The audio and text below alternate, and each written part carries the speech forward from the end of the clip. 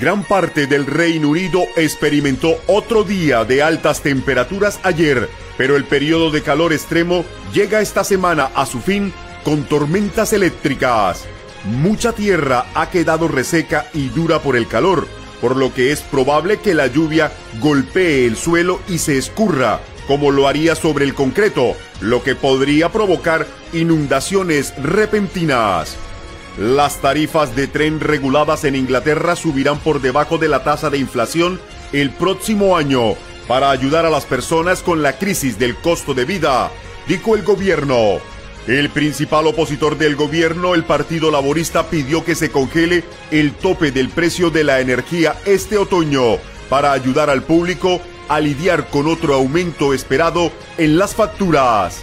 Liz Truss, 22 puntos adelante en la carrera para ser la próxima primer ministro de Gran Bretaña, según muestra una encuesta.